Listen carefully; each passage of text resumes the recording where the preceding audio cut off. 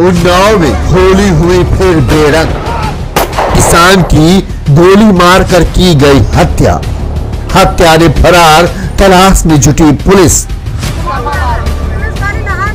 गाँव में दहशत, हत्यारे ने दी धमकी। गब्बर फिर वापस आएगा।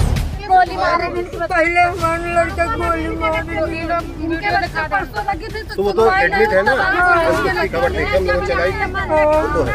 उन्नाव में एक बार फिर होली की खुशियों की उमंग को कुछ दबंग युवकों ने बदरंग कर दिया।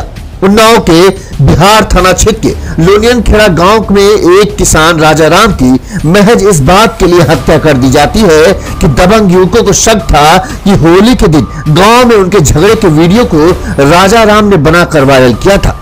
होली के दूसरे दिन दबंग ने उसी बात को रंजिश मानते हुए गुरुवार रात खेत में रखवाली कर रहे किसान राजा राम के पास पहुँचा, उसे गाली गलौज की और कनपटी में तमंचा सटाकर गोली मार दी। इसके बाद दबंग हत्यारा गाँव के लोगों को धमकी देकर गया है कि गब्बर फिर वापस आएगा और तब और लोगों की मौत होगी। हमारी मांग है कि जो है ना उचित कार्रवाई की जाए जो गुनागार हैं उनको सजा दी जाए। किसान को क्यों गोली मारी गई? किसान ने ऐसा क्या किया था कि उसकी जान के दुश्मन बन गए दबंग? और कौन है ये गब्बर जिसके वापस आने के नाम से दहशत में है गाँव के लोग? ये हम आपको सब सिलसिलेवार तरीके से बताते हैं। बिहार थाना क्षेत्र के लोनियन खेड़ा गाँव में होली के दिन सब कुछ ठीक ठाक चल रहा था।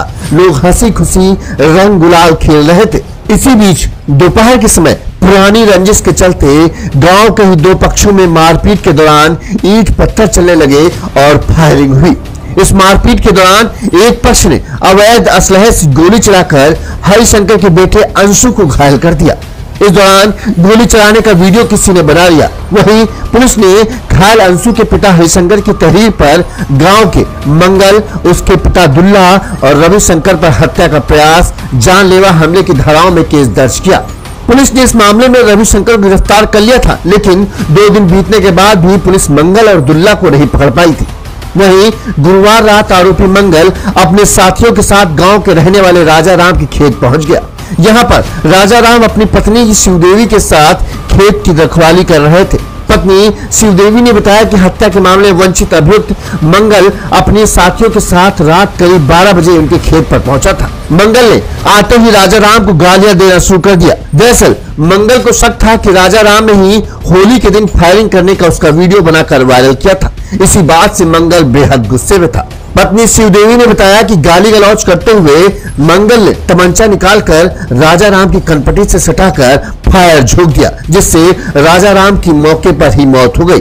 किसान की मौत के बाद पत्नी का रो रो कर बुरा हाल हो गया। हत्या की सूचना पुलिस तक पहुँची तो हड़कम मच गया। करीब 10 घंटे तक गाँव में हंगामा मचा रहा। पुलिस गाँव वालों को समझाने में जुटी रही, लेकिन गाँव वाले पुलिस की कार्रवाई पर सवाल उठाते रहे। गाँव वालों का कहना था कि अगर होली के दिन ही पुलिस मंगल और उसके पिता पर सख्त कार्रवाई करती और उसे गिरफ़्तार कर लेती तो ये नौबत ना आ पाती।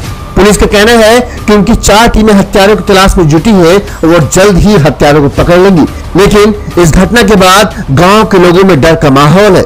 वहीं गाँव में इस बात की चर्चा है कि हत्या के बाद मंगल कई लोगों से ये कहकर गया है कि गब्बर फिर लौट कर वापस आएगा और फिर कई लोगों की जान जाएगी।